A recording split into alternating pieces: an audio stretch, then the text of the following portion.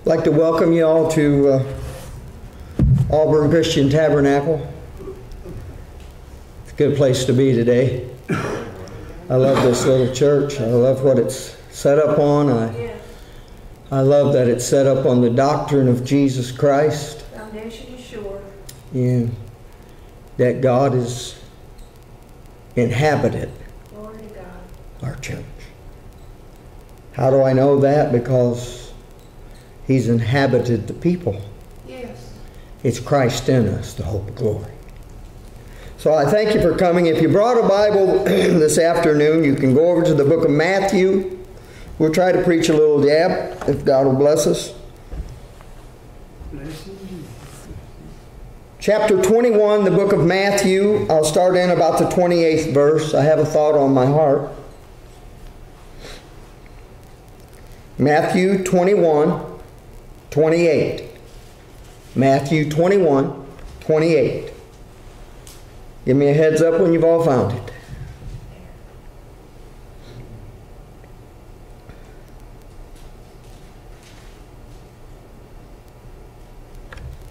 All right, I'll start reading.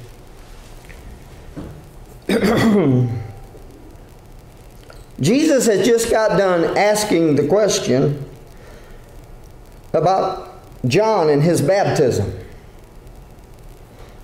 And they wanted to know by what authority Jesus was doing the things that he was doing. I got asked that not long ago. I had a pastor say, What authority are you under? I said, By the authority of the King, Jesus Christ. That's my authority. But you see, this day and age, people want organizations, titles. Who sent you out to do this uh, work here? Who, who's over it? Well, I can say here at Auburn, God is. Amen. Because we, we're not beholding to none of you. You get me? Amen. God's the head of this church. Not me, not Brother Chad, not Papa, but God. We gave it to God. God put the vision in our heart. God set things in motion. God sent us the money to buy it and equip it. And God sustains it. It is God's. That's the authority. Yes. And they wanted to know, Jesus, who gave you authority to do these things? So Jesus just simply said, Well, I'll ask you a question. And if you answer my question, then I'll answer your question. So Jesus said, John's baptism, is it of God or of man? You see, he put him on the spot. Because the majority realized that John was sent by God. So they submitted to his baptism, which was a baptism of repentance. Had they have said that it was of men, the very people that stood around would have rocked them with rocks. But they also realized if they would have said it's of God, then Jesus would have said, then why didn't you submit to it? Amen. Jesus said, My Father worketh here and I work here. There's the authority. That's the same here. I don't need your man made creed. I don't need your man made dogma. I don't need any of your man made stuff. When they ordained me, they said, Skate lightly, we've not give you the keys to the kingdom. Of which I replied, You're too late, brother. God's already gave me the keys through Jesus Christ.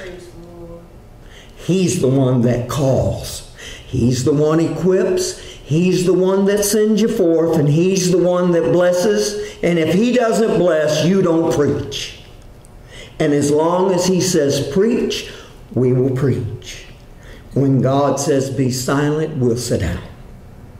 That's where we stand. I know that might seem hard to some of you, but that's how it is. 28th verse. Jesus says, But what think ye? Now he's talking to the Pharisees and the Sadducees. He's talking to the rulers of the church of his day, the ones that were in authority. He says, But what think ye? A certain man had two sons.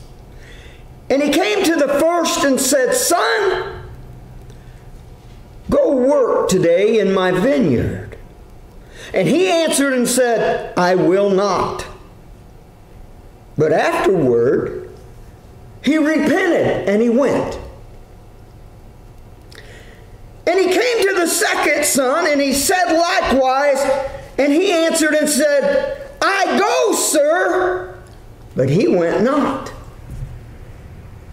Jesus asked the question Whether of them twain did the will of his father? They said unto him, The first.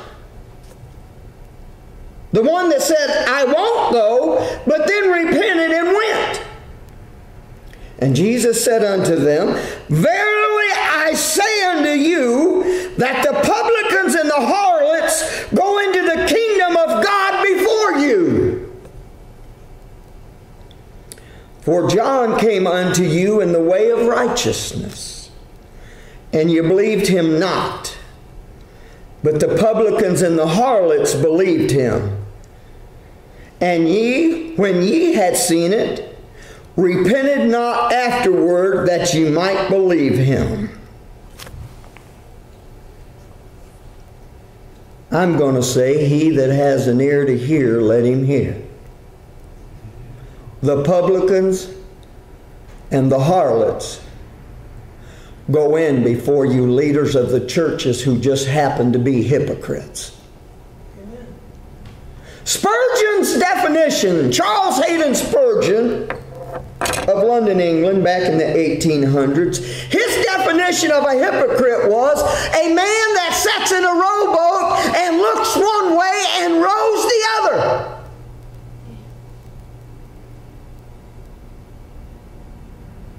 We have a lot today that worship Jesus with the lip, but the heart is far from Him. It's just lip service, not heart service. If you love show grace and mercy. And by that same love, all men shall know you are my disciples. Without love, you're none of his. You're a liar and the truth's not in you if you love not your brother. What we've got to build this church on is love. If we have never seen God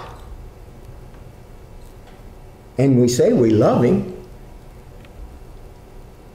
and we can't love the people that come under this roof whom we do see, how can we truly say we love God? Amen. We don't see. For our eyes have never beheld him. We love him by faith. Love covers a multitude of sin. But the law will condemn, while mercy triumphs over judgment.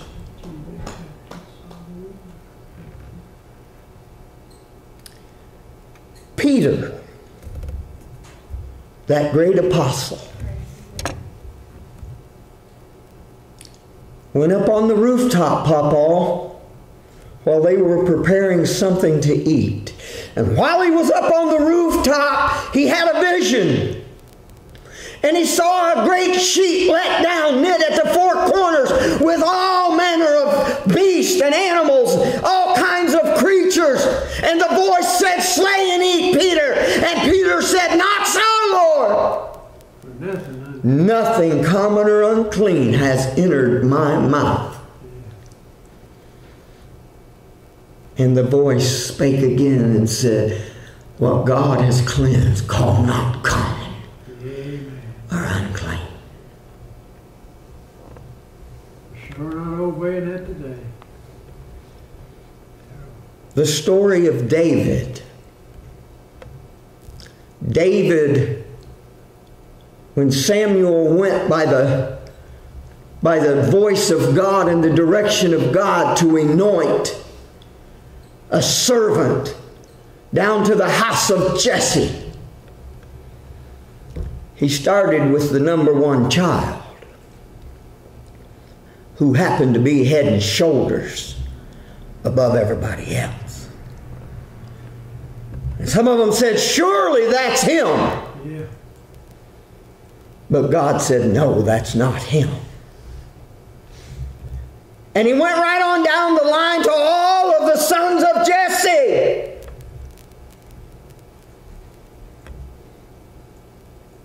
And God said, None of them. So the prophet said unto him, Is there no more? Yes, I have one more little ruddy son. He's out in the field taking care of the sheep. You see, they didn't want to include little David because there was a dispute of who's David's lineage, who he truly was. Jesus came through that lineage. Bathsheba bore a son. David was caught up in sin. And the child died. And David wept and asked God to forgive him. If you plead the blood of Jesus Christ, God will forgive your sin. I had a brother say to me, the blood wasn't shed. And I said, You need to read the whole story. Jesus was a lamb slain before the foundation of the world. By grace, through the everlasting blood covenant, he was included before the stars were hung. Come on, Keith. And they had a second child whose name was Solomon. And through that lineage of perverse sin, Jesus came. There was a woman when they were ready to take over of the city. And the spies went in to a little harlot whose name was Rahab. And she, being favored by God, hung a little red cord out the window. And her and her household were spared. Jesus also came through the lineage of Rahab the harlot. Do you understand what I'm saying this morning? Jesus is the God of the broken. Yes. He is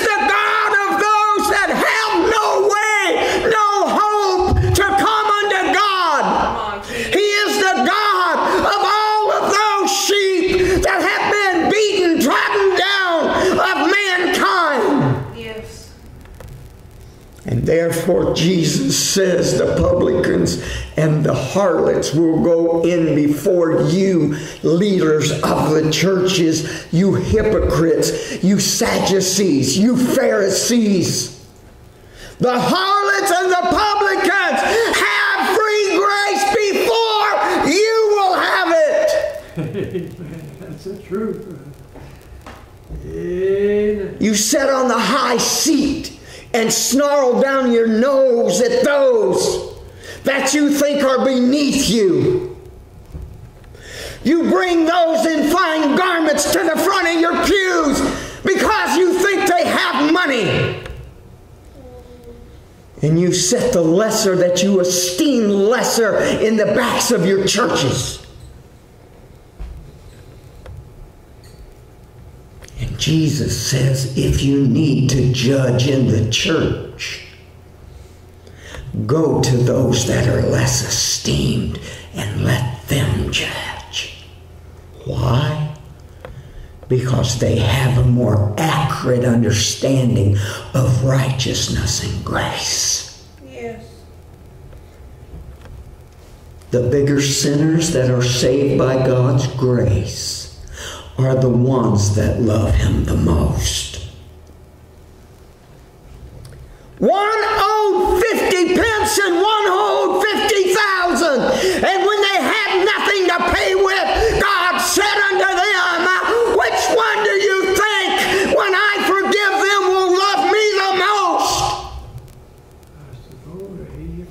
I suppose to whom owed the most. I love God because I was the biggest sinner. God forgave me the most. I owe God everything for mercy and grace. I say unto you, the publicans and the harlots go into the kingdom of God before you. You sit in your high seat. You stand on the corners with your long phylacteries. And for pretense, you pray long prayers to get admiration from people. and you won't go into the kingdom yourself and you hinder everyone else that would go. You encompass land and sea to find a proselyte, and when you proselyte them, you make a twofold more the child of hell than yourself. Hypocrite vipers! Whited sepulchre! Praise you, Lord. Painted graves! Release the Spirit again. full of dead men's bones. You have no love of God, Release repentance. and therefore you are none of His. For he that loveth God will love each other. And that love covers a multitude of sin. Call not that common that God has cleansed. God has cleansed. Call that not common. You set in your associations and you give anathema to everyone else because they're not of your association. You won't extend the right hand of fellowship, nor will you let them participate in the body of Christ.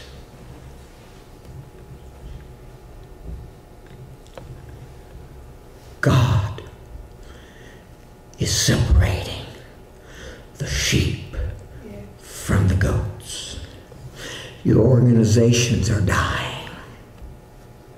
Your associations are dwindling and drying up like a dried stick. And there's no Spirit of God. That's because the Lord of glory is removing the candlestick from your churches.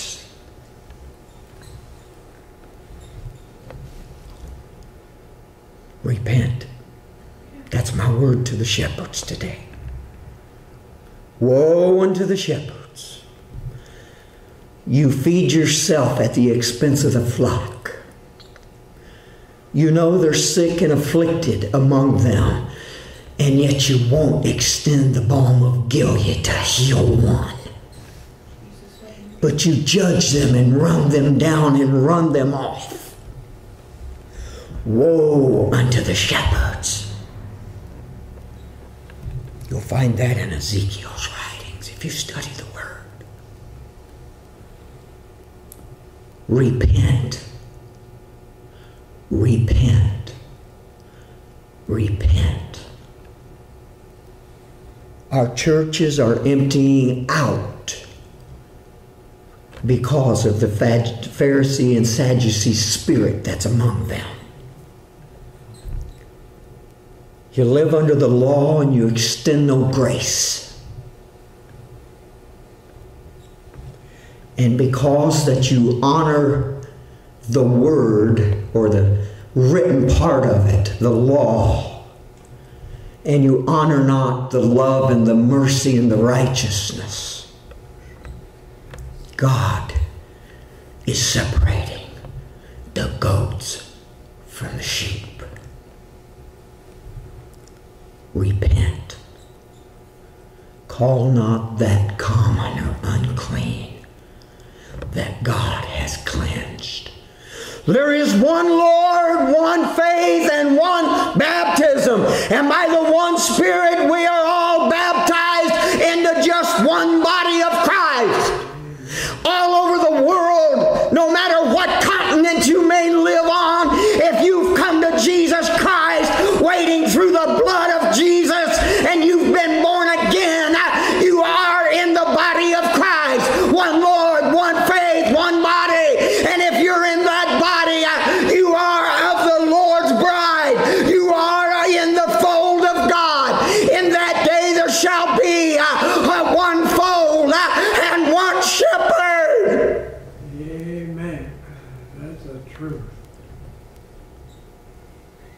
shall you know them? By their fruit ye shall know them. No love, no connection to Jesus. Amen. You're dried out with no Holy Ghost. They that have the Spirit are His. They that have not the Spirit are none of His. Call that not common or unclean that our God has cleansed. That's all I got for you today. I know this is a hard message. I give it to you with as much love as I can. But I'm tell you, verily, verily, I say unto you, God is dividing the sheep and the goats. And the churches that will not fellowship the rest of the body, God is removing the candlestick. You will continue to go down in number. You will continue to dwindle in the word. Your words will fall to the ground, and there will be no fire and Holy Ghost in your meanings. It will be just a dead social gathering. My send up before God that you repent and that you fill your hearts with love, not judgment. You're not a judge. I'm not a judge. If you're a judge, then you're not a doer of the word. Amen. A judge has power to execute sentence. We have no such thing. We examine fruit so that we know who we deal with. We make no judgments. Only God's the judge. So I say unto you, repent. God bless you.